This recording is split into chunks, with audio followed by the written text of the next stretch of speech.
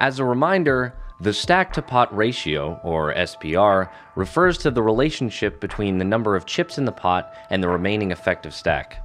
If there are $100 in the pot and $500 left in the effective stack, then the SPR is 5.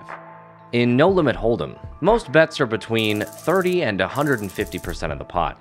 This sizing range is mathematically incentivized so we can get a rough sense of how many more bets are left based on the SPR. Let's take a look at some practical examples. An SPR below 1.5 means the next bet will probably be all in.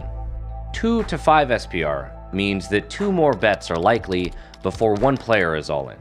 With an SPR greater than 7, it's almost certain that at least 3 bets will be needed to get stacks in. Just like the case when calculating pot odds, it's important to remember that the SPR is already baked into your EV in a given hand. The EV of drawing to a straight draw on the flop is not going to be the same if your opponent is close to all in, say with an SPR of 1, as it would be if your opponent is still super deep with an SPR, say, of over 5. SPR directly affects our EV because it determines how much or how little can be wagered in the hand.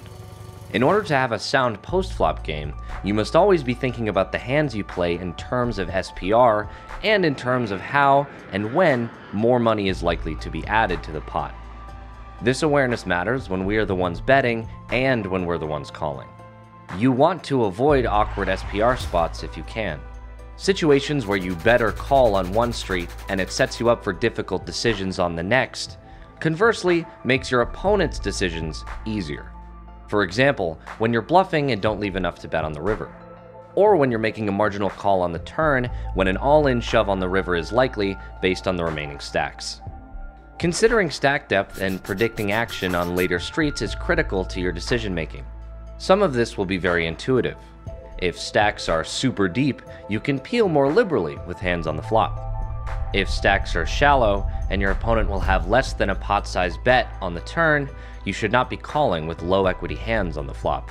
Middle zones can be a lot trickier to navigate. Your job is to recognize these spots before you're in them. Always be looking ahead.